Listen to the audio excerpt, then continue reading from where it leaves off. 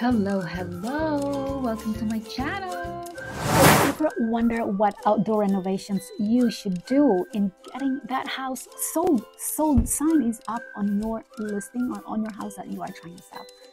Outdoor renovations that pays off when selling your house.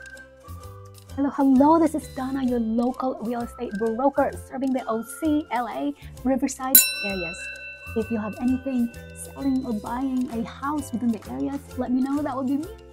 So you're planning to sell your house, right? You may be wondering what work you should do before you list it. Here's a look at a few outdoor projects that can give you the best return on your investment and maybe help, you know, in getting this house make that good impression in selling.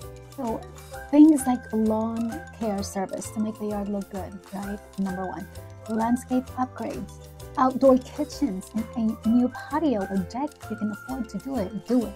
Generally have the best ROI or return on investment. But keep in mind, it all depends on our local market trends, right? So that's why it's important for us to work together before you start on anything so you will know which updates have the biggest impact in our area. I know what buyers are looking for and I know how to highlight the upgrades you make so your listing really stands out. Let's chat so I can help you figure out what to focus on in getting that house sold.